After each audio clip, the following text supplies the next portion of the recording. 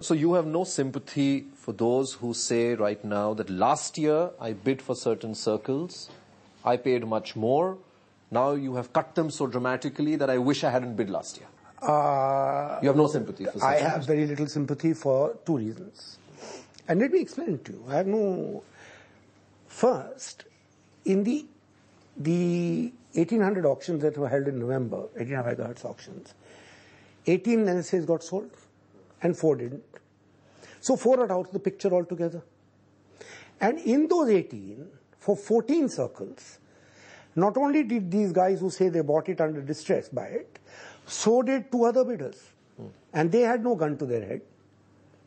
Now, if they were willing to buy the spectrum at that going price, that was a voluntary purchase. Mm. It's very well now to turn around and tell me that, oh, it was involuntary. But if those guys voluntarily bought it and you bought it, tough luck. Mm. So for 14 circles, there is absolutely no question whatsoever. That was a market discovered price, whether you like it or you don't like it. Mm. It may not be a market clearing price, which is that all spectrum cleared at that price.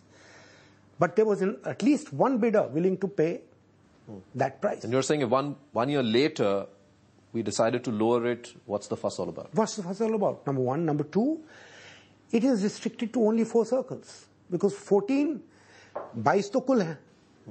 14, you have a market price. 4, there was no bid, so 18 gone. So it's four circles where you have a so-called issue. And in that, what are you comparing? You're comparing what you paid with the reserve price. Let the auction be completed, then we'll see.